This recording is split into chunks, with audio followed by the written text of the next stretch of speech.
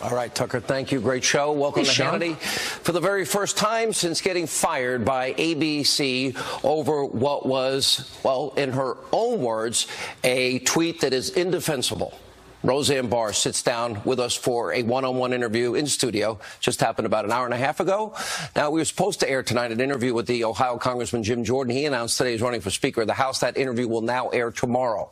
And plus, breaking news right now reports tonight that a U.S. military plane is en route to North Korea to pick up the remains of some U.S. servicemen that were killed during the Korean War as was promised and part of the agreement in Singapore. We'll keep you updated on that story. But tonight, our interview with Roseanne. Now, we will warn some of you, some parts of the sit down are controversial. Some of you will find it offensive. Consider that your viewer warning. Now, after starting her career as a stand-up comedian, Roseanne Barr became a household name. For nine years, 1988 to 1997, she starred in her very own sitcom, a huge hit on ABC. Now, she won an Emmy, a Global, a Golden Globe, and multiple other awards before Roseanne wrapped up after nine iconic seasons. But, well, year after year, wherever Roseanne Barr went, controversy in fact followed. 1990, she was booed off the field. She sang, quote, well, maybe screeched is a better word, the national anthem. She grabbed her crotch. She spit in a rendition of the national anthem. That was at a Padres game. We'll talk about that. In 2009, she posed as a cookie baking Nazi for satirical Jewish magazine. She once told Joy Behar that Sarah Palin was a slave to right wing men. On her blog, she compared all Republicans to even pedophiles. She talks about her political transformation tonight. She also floated the idea that practicing Catholics, which I was raised Catholic, should lose custody of their kids. 2012, she actually ran for president. She lost to Jill Stein in the Green Party primary. But earlier this year, after some time away from the spotlight, Roseanne Barr made a huge comeback. A few months ago, she spearheaded the reboot of the hit show that bears her name. The new Roseanne debuted with massive ratings as Barr played a Trump supporting, politically incorrect family matriarch. And however, only after a few episodes, the show was canceled after she tweeted this about former Obama advisor Valerie Jarrett. Quote, you can see it right there, Muslim Brotherhood, Planet of the Apes, had a baby. VJ. Valerie Jarrett is an African American woman. She was born in Iran. Now, Roseanne rightfully apologized many times. Damage was done. The Roseanne reboot was canceled within hours of that tweet. Recently on her YouTube page, Roseanne had this to say about her tweet, which we'll ask her about, and the controversy that followed. Take a look. I'm trying to talk about Iran. I'm trying to talk about Valerie Jarrett wrote the Iran deal. I know, but you've told me this 300 times. Do you know that if That's what my tweet was about. I know you've explained this literally 300 times. I thought the was white. I thought the was. So, such a short time ago, I sat down with Roseanne for her first, very first national TV interview since her show was canceled. We begin with part one. All right, joining us now, she really needs no introduction. Roseanne Barr is with us. Roseanne, thanks for coming. Good to see you. Thanks for having me, Sean. All right. You um, sent this tweet out. Yeah.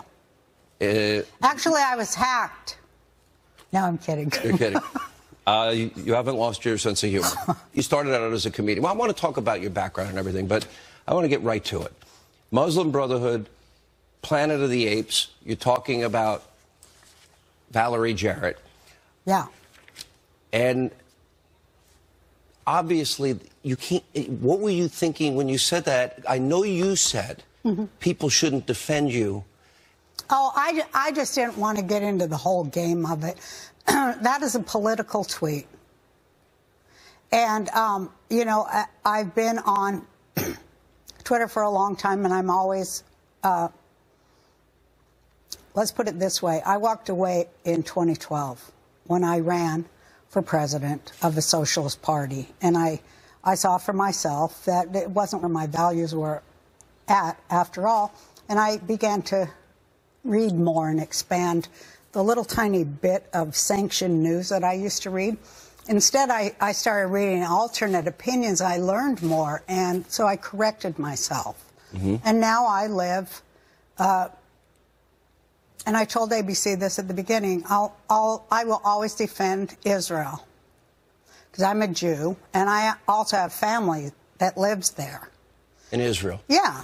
So I that is a tweet about um, asking for accountability from the previous administration about the Iran deal, which Valerie Jarrett is the author of. And that was what was in my head. Okay, let's go back to you do understand. Now I do. Did you not understand when you tweeted it out? No, I was so shocked Well, that well, let me ask you, what do you understand? Well, I don't understand a lot, to tell you the truth. The first thing was shock that they were saying it was racial when it's political. And I, that was a hard one to take. And then uh, everybody started saying I was a racist, which is like the worst thing that you can call a Jewish person, especially one who, like me, grew up with Holocaust survivors. And at age three, because of that fact, I took a vow to my God that I would always fight uh, extremism on either side, right or left. And for a long time, I thought I was fighting it on the right by being really left. And then I just slowly woke up and saw that both extremes are not where my values are. My values are in the middle. And I, I uh, believe that we have the right to uh, ask for accountability for where our tax money goes. And when I ran for president in 2012, I, I ran as the um, representative of the Black Caucus of the Green Party. And they trusted me so much to, black people chose me. And I was humbled by that. And I ran on uh, an anti racist, uh, you know, Clinton's drug wars and what that means that one in every four uh, African American males are in prison for pot. And I, I'm very informed. I'm not, you know, I've always been political. My comedy is political. Do you see now Yeah. what, in other words, what I guess I'm trying to ascertain, Roseanne, is that the reaction was universal. Well, it seemed that way. And, well, in many ways it was. What do you see about it now? I mean, in other words, uh, I know you tweeted out apologies. Yeah, this I is an opportunity to really talk to people. Well, I've apologized a lot. It's been two months, and I've, I feel that I have apologized and um, explained and uh, asked for forgiveness and made recompense. Those are the, that's part of my religion. you said that to uh, Rabbi Shmuley. Yeah, because there's four parts of uh, being forgiven in order to come back into your own good graces. And I was uh, so sad that people thought it was racist. And then I went into the whole thing about the whole discussion of racism, and that blew my mind because it's so much a part of what the show I was doing was about. And I'm like, why can they not see my work? And uh, and then I got really messed up thinking, in this world, it seems as if words matter more than actions, but in the real life world, actions matter more than words. And my actions over 30 years as an artist and a, and a comedian, I've always been against the abuse of power towards all marginalized groups. But now I feel like both the left and the right have marginalized the middle. And it's just too crazy. And uh, the thing that broke my heart the most, I have to say this, is that I have African American children in my family and in my loved In your immediate family? Yeah, and in my loving circle, and Asians too, and Hispanic people, and, and Jews get around, let's put it like that. But uh, I felt so bad for those kids because I love them, and I didn't want them to think of me like that, you know? And, and I know, and I was so sad, and I'm so sad that anyone thinks that of me, but I'm not that person. And I was going through a lot of a very hard time. You know, how would you like it to be sitting in a room with 25 people who think Trump is the worst thing that's ever happened to the United States? How would you like it? Could you do your job? It happens to me every day. really? Yeah, there are a lot of people that don't like what I have to say. In your circle? Oh, I, I, I- don't know if you read a lot about Sean Hannity, but this, this isn't. I about me. do, but Um, here's what I really. People that work on your show are like that? There's plenty of people around here that disagree with every word I say and hate what I stand for. Absolutely. Disagree adamant with me, adamantly with me. But, you know, I signed up. I give strong opinions. And some people disagree, but I have no problem with people disagreeing. Here's what I, I don't either. But don't that's what that's what upset me so badly because I like to hear all sides. That's how I form a story. Oh, you! I have a whole list of stuff you said about Republicans and Catholics, of which you know both. I've but- uh, said it about everybody. Listen, Hmm? I I hate everyone equally. But obviously you're kidding. No, but everybody deserves to be joked about. Here's what I want to get to the Anybody who's in any kind of position of power deserves to have a joke about them. And if they can't laugh at themselves, then that means something. If you can't laugh at yourself first before you start laughing at everybody else, that means Isn't something. that how you started your career? By Yeah. dom- domestic goddess? Yeah. And you poke a lot of fun at yourself? I tell more jokes about myself than I do anybody else because to me, comedy is very personal. That's what makes it funny. That's what made people like the Roseanne show because they saw themselves in or had an aunt or you know their mom or their sister. Somebody in their family was you know a loud, outspoken woman who loved her family, and that was what I was so excited about to come back to television was to show that that family is also al- also multiracial and lives next door to Muslims whose ideas they don't agree with. That was what I brought to television and what kicked everybody's ass in the ratings, and they should be so lucky that they'll ever get anywhere near that. And they can't take that away from me no matter what's happened. I guess this is an opportunity. There are a lot of people, Roseanne, that are not on social media. Yeah. Maybe haven't read your apologies. Yeah, they're smart. I can put, well, they're probably, are you off now Twitter forever? Well, my kids took it away from me forever. Um, well, you could always get another phone. But here's, the, I think, a very important I did. For, for those people, though, that, and I'll put up some of the apologies here that you have tweeted out, but there are still a lot of people that look at that comment and they think that you, they cannot believe that you didn't know better. Yeah, I know, but I did. But I want you to address that. Address those people. Um, you know, I made a mistake, obviously. It cost me everything my life's work, everything. I made a mistake, and I've paid the price for it. Uh, but no, I did not know she was like a lot of Americans, including a lot of uh, people of all types. They didn't know either. You mean, I, I I've read that you said that that you didn't, and you had this crazy video this week. What was what? What? Oh, I that? was so mad. Well, I was filming this thing to, uh, you know, my real apology, which followed it. But I just, everybody was like, well, you're not addressing this correctly. And so I just lost it, and everybody started laughing. So I go, ah, put it up there. All right. Because it Let's was say a joke. Valerie, uh, Valerie Jarrett Yeah. is watching now. Though she said she wouldn't watch. She said she on wouldn't, The View but, but she'll hear about it. Yeah. My question is, I want you to address her because she was, and and maybe not just her, but maybe people in the community that are so outraged, outraged about it. I want you to address them Uh-huh. Right. from your heart and tell them. Here's what I have to say. Let's talk about it. Let's really turn this into a teachable moment. We need to talk about race and uh, all everything that's uh, connected to it, including not knowing that someone who's looks like me, her skin tone is like mine, and I'm brown.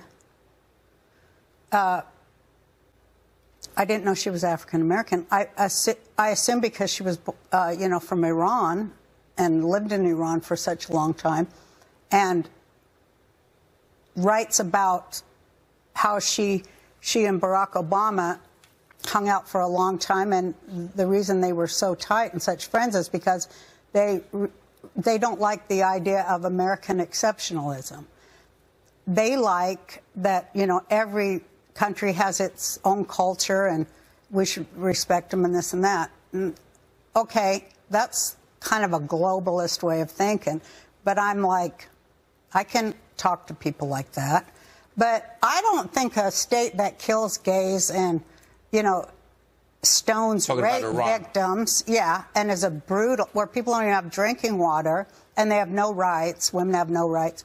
I don't think that is like America.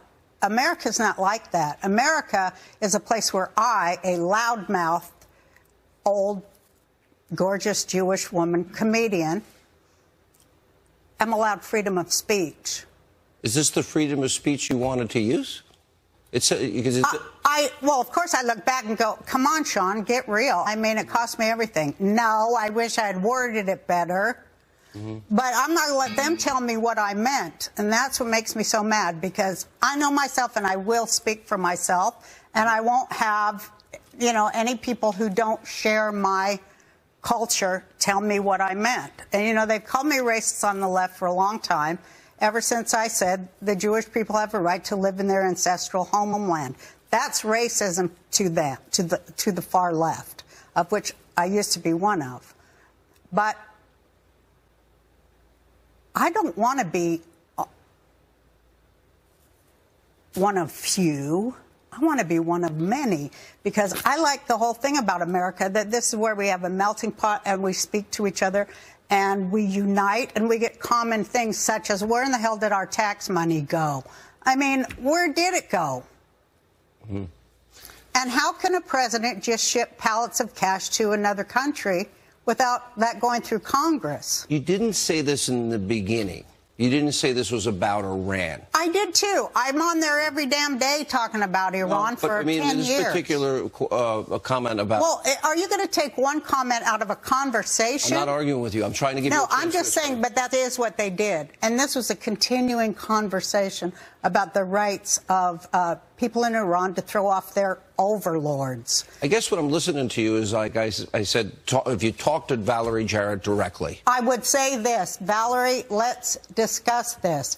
Don't assume that you know what I meant because I think you don't know what I meant, and I would like to make it clearer to you what I did meant, mean. And I would like to find a way past all that to really discuss the issue at hand and to try to find common ground between us. would you want to say sorry to her directly? Would you like to talk? Well, I have already. have you talked to you? Haven't talked? No, I haven't called her because I was like thinking what would, Would be the like right to? thing to say to call her. Yeah. You think she'd? I'm afraid she'd start screaming and throw the phone down. Well, if you pick, if I if I had her number and I handed the phone to you right now, what was the first thing you'd say to her? Well, do you? You want to do it? No, I'm, I'm asking because maybe I'll call her if anybody's got her number. Anyone got her number? No, nobody. But if you did, call her. This is, and I think it's the important thing. You're saying you want to talk about issues, and this is a bigger picture, a teachable Yeah, moment. it- it Well, I, I would think the first thing you'd want to do, if it was me, I would want to say, I am. I want her to hear my voice say, I am so sorry. And I know you've tweeted it, and I know you said it, but now that you have a very different perspective on the comments, I would Yeah. assume you'd want to start there. Well, I already have said I'm sorry for two months. No, I know that, but you'd want to say it directly to her, is what I'm asking. Oh yeah, if she was on the phone or something, you mean? No. Yeah, well, she's not. But if she's watching, I'm so sorry that you thought I was racist and that you thought that my um, tweet was racist because it wasn't. It was political. And um, I'm sorry for the misunderstanding that caused my ill worded tweet. And, uh, you know, I, uh, I'm sorry that you feel harmed and hurt. I, I never meant that, and and for that I apologize.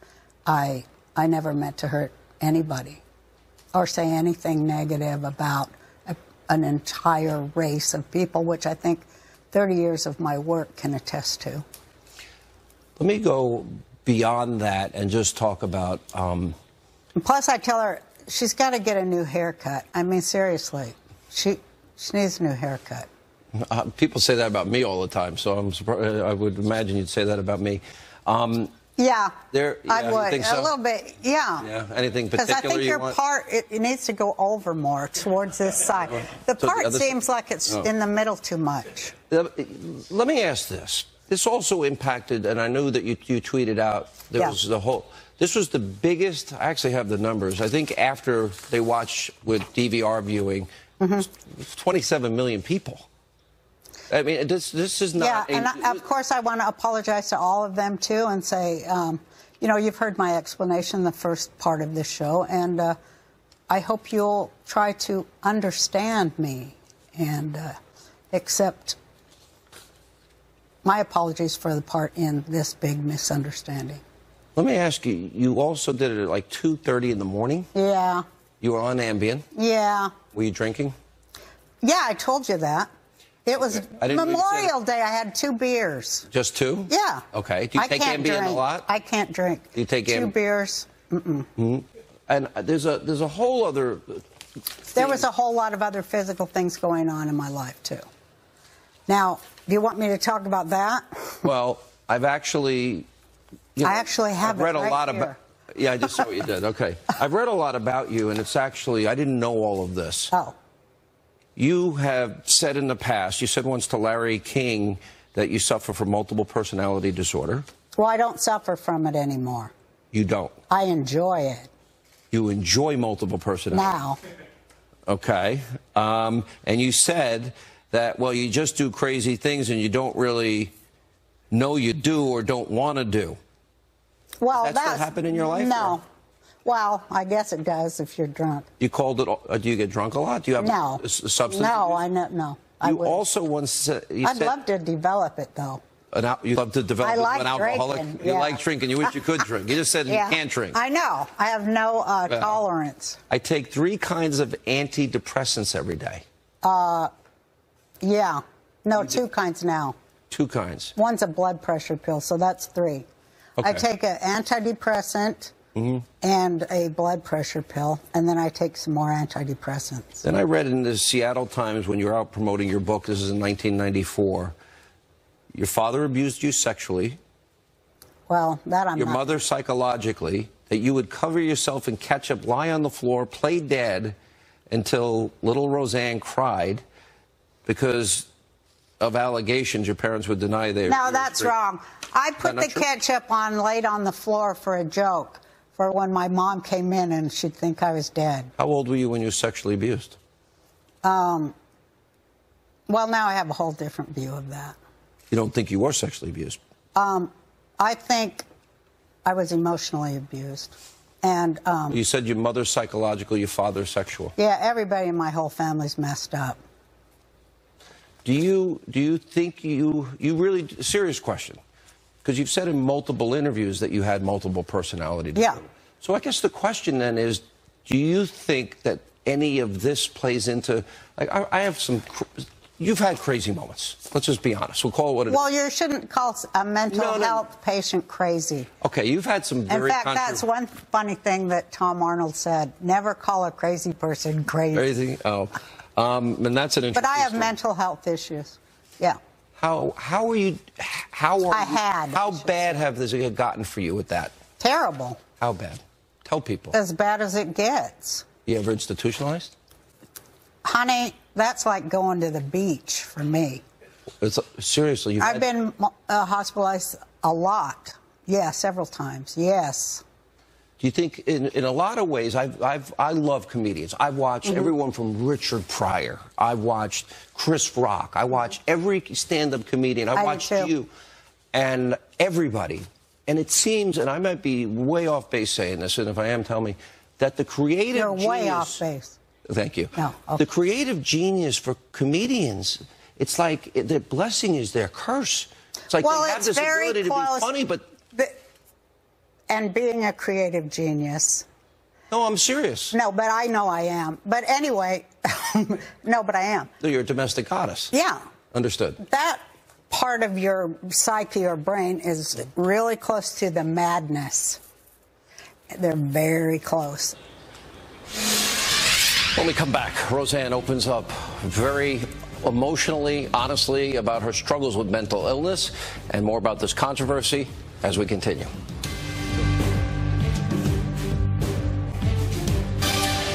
All right, more of my exclusive interview with Roseanne Barr.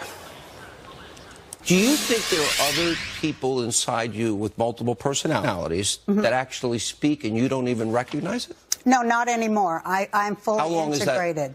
You fully I fully integrated, and I was uh, fully integrated at Stanford University about 12 years ago. Was it uh, was it a medicine that transformed your life? No, it's therapy, Therapy? like 20 years of it. You, you look. You've had a lot of controversy. I've done the work, though. I just have to pat myself on the back there.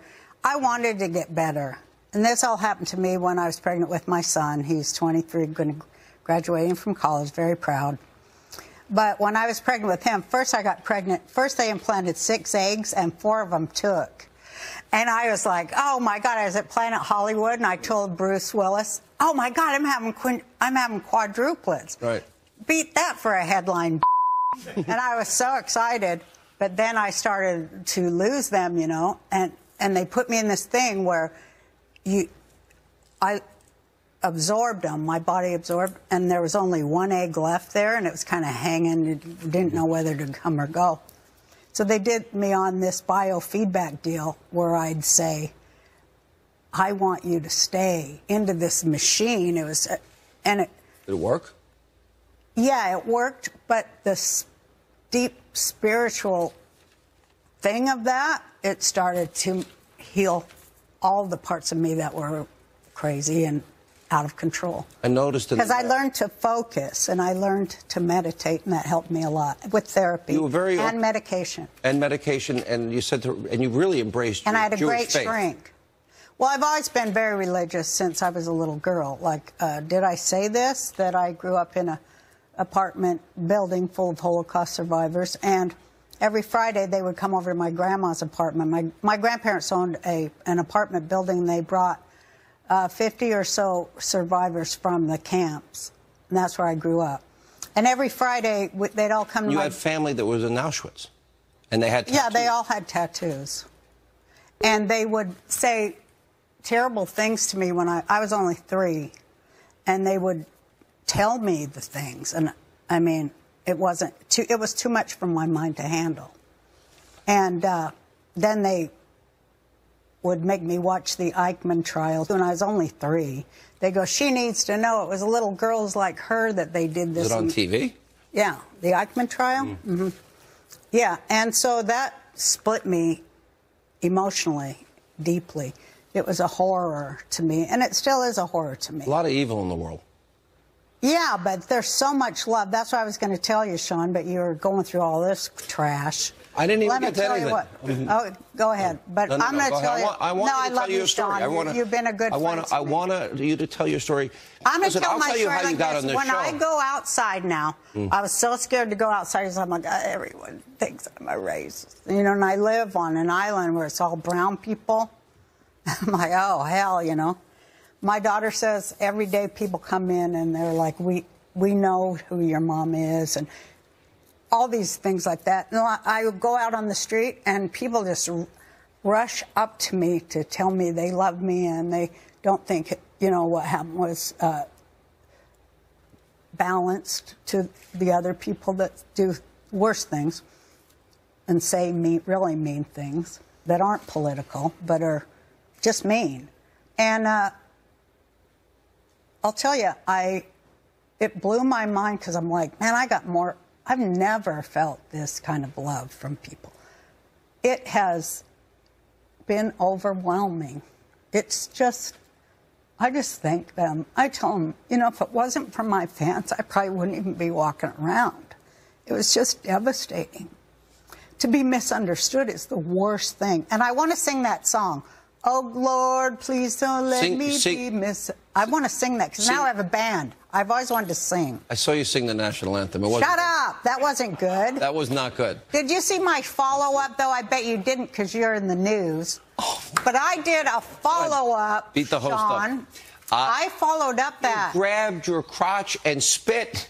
Well, that's what the stupid pitcher told me to do. Oh, and they all are deserted like rats off a ship. But I was trying to di- make him laugh. He said, that'd be so funny. I go, okay, I'll do it. Right. So I did it, and it wasn't funny. And I learned a lesson. Never take comedy advice from a pitcher.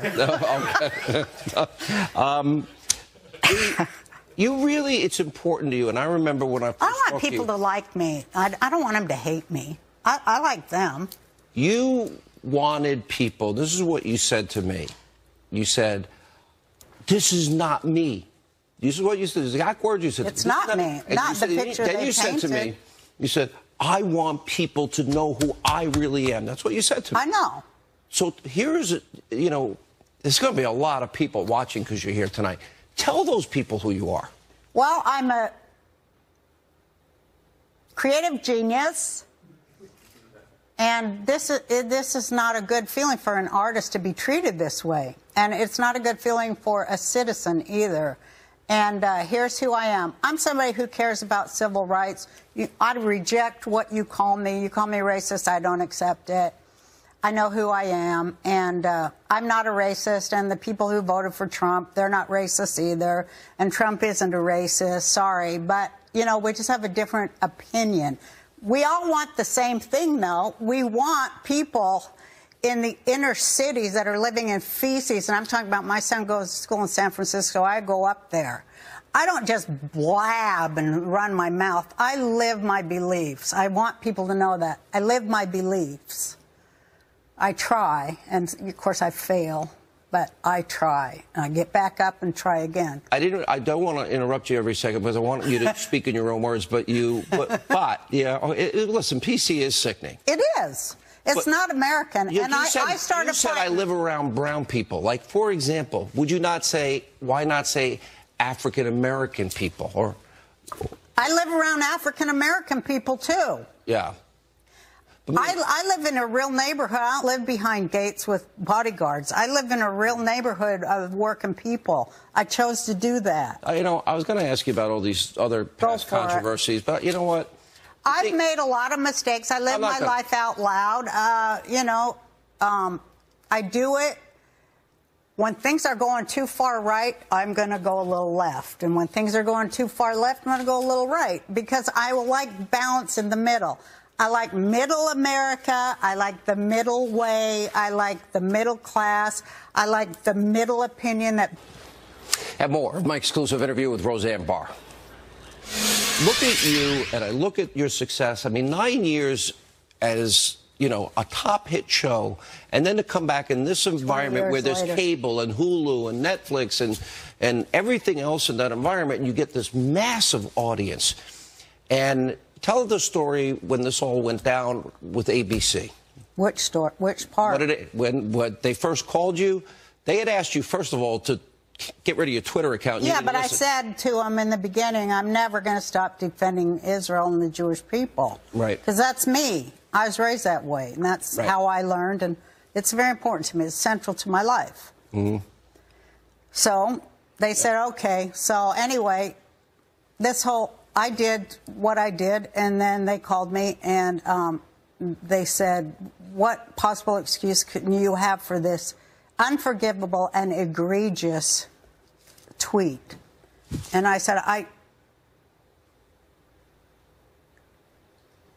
What do you mean exactly? You didn't know. No. You could knock me over a feather when they said she was African American. My boyfriend saw it. I was like, what? I thought I thought she was Middle Eastern. Anyway, well, because you know, But is it wrong to say everyone's any comparison to? I compared to what people they've lied about my tweet from day one. They said she says she looks like. I never use the words looks like. You don't use politically correct terms. Like I heard you No. earlier in this. Um, I'm not going to either because it's sickening. What do you want uh, now that ABC has gotten rid of it, and America's going to hear you tonight? Uh huh.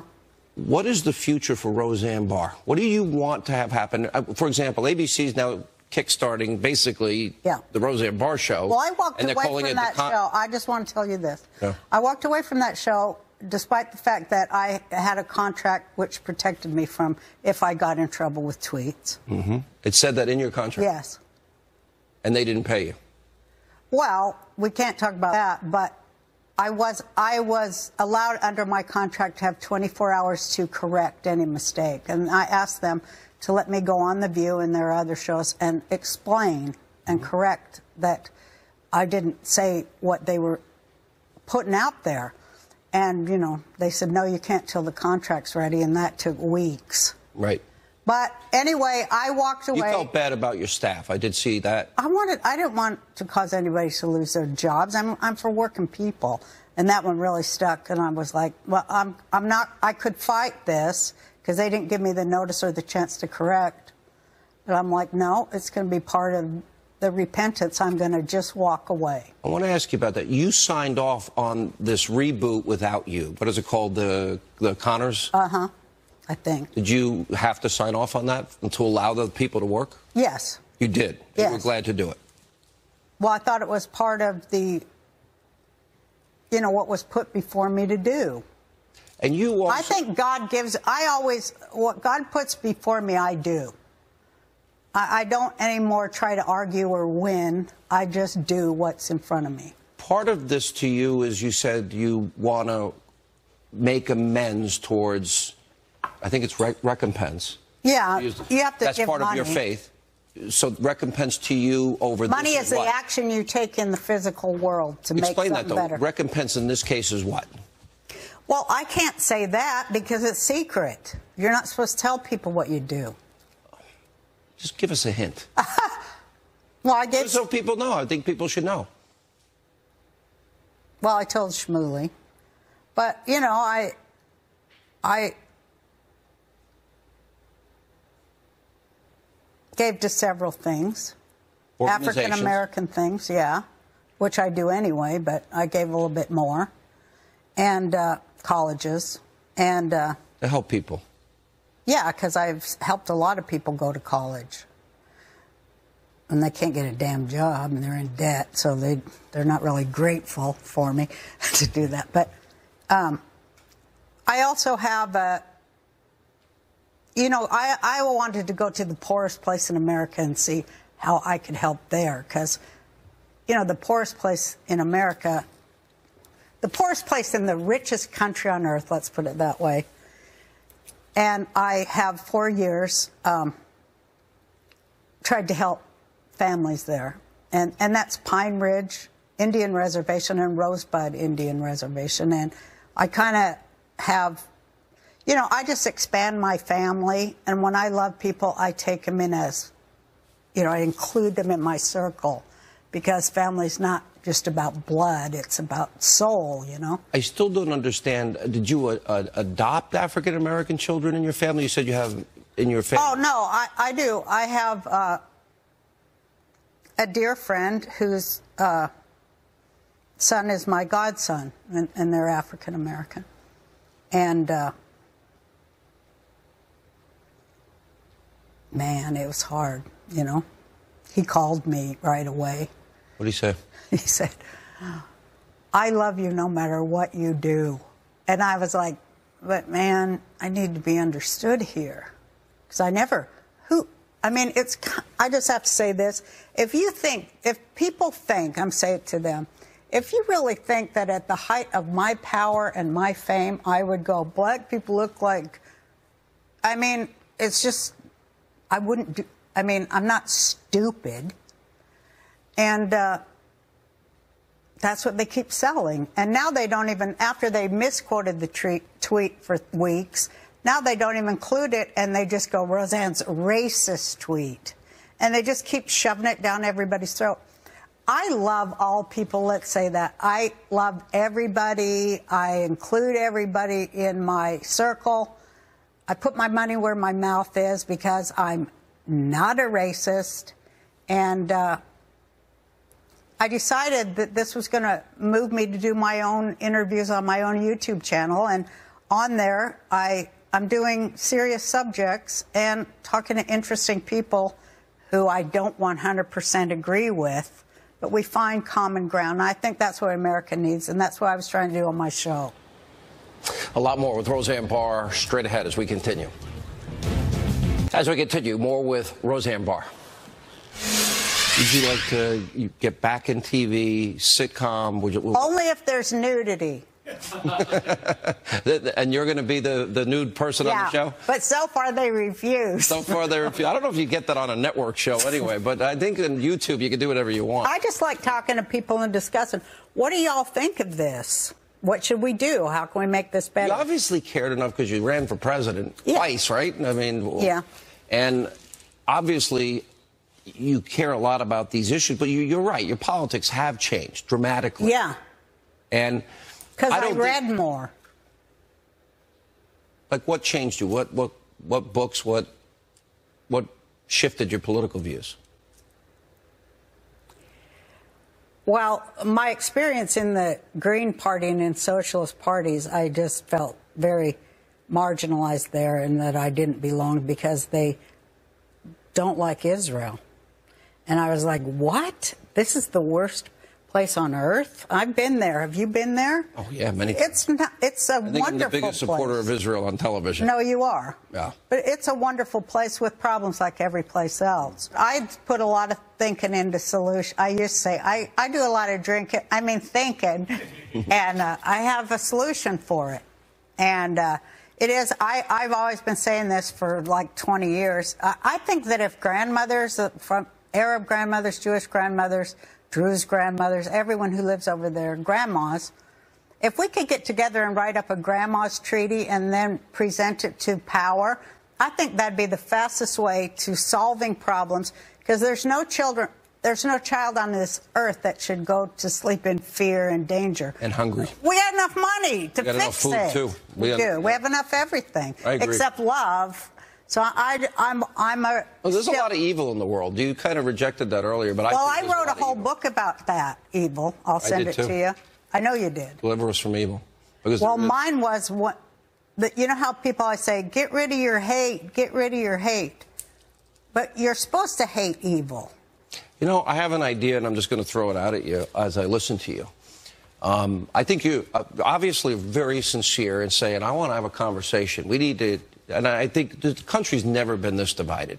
And it's stupid because we got to get our money back from both sides. Yeah, we do. have to talk to We're each other. it. Yeah. You should go, you know, Roseanne and Friends show, and what you should do is just stand up.